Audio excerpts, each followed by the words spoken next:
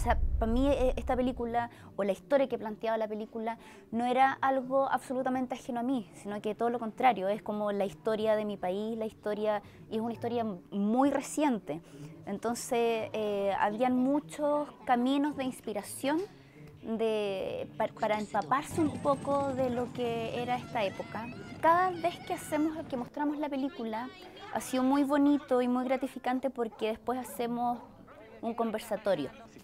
Eh, y eso ha sido muy sorprendente porque la gente se queda horas con las ganas de conversar, se instalan, a todos les, es como que les pegara muy emocionalmente fuerte la película.